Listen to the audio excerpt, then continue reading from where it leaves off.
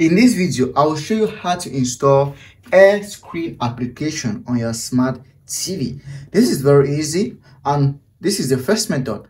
The first method is for you to try and locate your App Store or Play Store depending on the smart TV type you are using. Once you launch your App Store, we are going to try and search if we can find the application on the App Store.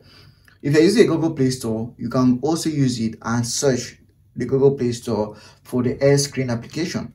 So once you come here, I always recommend go straight to the search bar and we are going to write in air screen. So air screen. Like and subscribe to YouTube channel for more important videos like this. So that's the application. Once we are done, we're just going to click on enter and hopefully we get the application on this and here's the application so once have the application you just have to come and click on it and take the download button.